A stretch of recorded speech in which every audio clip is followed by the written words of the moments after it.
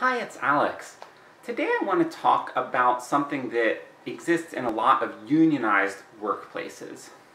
Relative to people who have similar political views to me, I tend to be a little bit more skeptical of unions, and there's a specific thing that I've seen in unionized workplaces that I really don't like.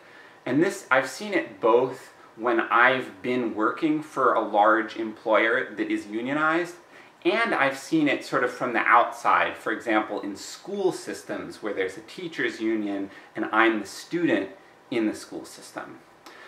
And what I see that I don't like is that there's often this system of seniority in place. So these unionized workplaces will negotiate a union contract, and the contracts are pretty complicated. But in the contract, there is this system of seniority spelled out, so that over time, as people stay with the employer longer and longer, they get certain additional benefits. So the three things that I see come up most frequently is that people who've been there longer tend to have higher pay, so that's usually written into the union contract that the pay goes up over time. And the pay increases can be substantial, so they get higher pay. The second thing, they tend to have more job security. Now, union contracts typically spell out conditions for when and how you can fire people, and they typically make it very hard to fire people. But most people in union, unionized workplaces, because it's hard to fire people, they're not losing their jobs because of getting fired for doing something bad. They're losing their jobs because of layoffs. So when there are budget constraints and the management either is forced to scale back or they want to scale back and choose to lay people off, whether or not it's forced, typically, because of the union contract, it's the people who have worked there the least amount of time who get laid off. So that's the second thing. The people who have worked there longer tend to have more job security. What's the third thing that I see? The third thing is that the people who have worked there longer usually get a pick of easier jobs. And this is often explicitly spelled out. For example, in a bus system, you typically have this concept of a pick, where there are these different bus, bus routes, and in order of seniority, the operators go in and they get to choose which run they want to drive. So uh, the desirable runs get taken first. Now the desirable runs can include both ones that are easy and ones that pay more. So there's some drivers who just go for the really high-paying route, which might be like a night shift, a swing shift, some shift that people don't really want to take, so the union contract spells out that it pays more. Uh, but the other thing, uh, a lot of times it's just they're going for the easy runs, the easy, pleasant things. And you see this same sort of pattern playing out in police forces. For example, like new officers are typically put out on the street, whereas as they get more senior, they often move into the office and get sort of higher status work that's like a little more cushy. You know, you're not placed at risk, you're not having to deal with difficult situations on a daily basis. And, okay, I really dislike all three of these things. So the, the three things we have here is that there's uh, higher pay as you get older, there's higher job security as you stay there longer, and there's your job gets easier. And why don't I like these things? First of all, there often can be a big disconnect between your performance in these jobs and your pay when you're in a unionized job. And if your pay goes up on the basis of a formula, there's not much incentive for you to do the best job that you can do. And this has been my experience in these situations. Some people do a great job and they're really committed, and some people don't.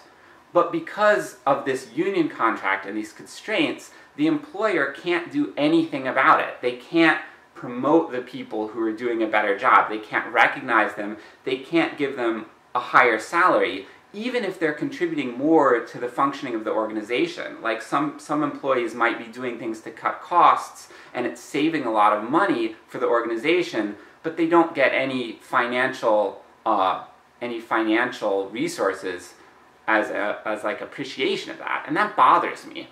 Okay, so there's this, this thing of people not really getting compensated and recognized for what they're doing. The second thing though is it's really hard on the people who start off. So for example, one unionized workplace, uh, most police departments, New York City, look up the starting salary of a police officer there. I don't know what it is now, but I looked it up a number of years, years back, and it was in the 30,000s. And this is in New York City. Like, you can't possibly live in New York City with that kind of salary. It is crazy. And over time, as you work your way up, you'll start making more. But like, okay, it can be really hard on the new people. And what I think is even harder is often the lack of job security this is an issue facing many of my friends who start out teaching in public school districts, because the public school districts are mostly or almost exclusively unionized. So teachers, they go in and, and also school districts are often subject to cuts and layoffs. So it's really common for a teacher to go in one or two years and suddenly, bam, they're out. They lose their job. Whereas the people who've been there longer have a lot of job security. Now, I don't necessarily think it's totally problematic to have your job security increase as you get older and as you stay there longer, but there are a lot of teachers in there who are not really working as hard as these new new teachers, and the new teachers are often really busting their butts. And because they can be easily laid off, a lot of them are really afraid of losing their jobs. And so the administration will kind of harass them, be really, really hard on them, whereas the teachers who've been there for longer, especially when they have tenure, they can get away with really crazy stuff that most people wouldn't be able to get away with. Like basically, the, the few people I know who've gotten fired, it's usually because of something horrible like having sex with a student who's under 18. I mean like, awful stuff like that not just that they're being lazy, they're not doing a good job in the classroom, they're sort of being unfair to the students, like those types of things won't get you fired. And this really bothers me. So there's this disparity in power right there. And the new people, who tend to be young people right out of college, they tend to be financially in a rough situation to begin with, they're the people who get the short end of the stick. Okay, so what's this last, last element of it? Well, the last element is the nature of your work and sort of picking the easier jobs. So this is more of an issue in some workplaces than others. But basically this comes down to the same thing that I said right to the beginning, like people aren't being, that they're not working in a way that's more efficient for the organization as a whole. Different people are going to be better at different tasks. And when you're talking about like police officers, some people are going to be better on the street, some people are going to be better in the office. And as you get older, you don't necessarily get better in the office. There might be some newly hired cops who might really be at their best working in the office. But they're not doing that because that's not the way the system works. And similarly, there might be some older ones who really are just at their best when they're out there and they're not as good in the office but they move into that because it's, it's a more pleasant job, so they pick that job. Um, same thing with bus drivers. Like, some people are, are better at certain types of things than others, and like you see it in performance of like uh, things like people's accident rates, absences, stuff like that, complaints about a driver.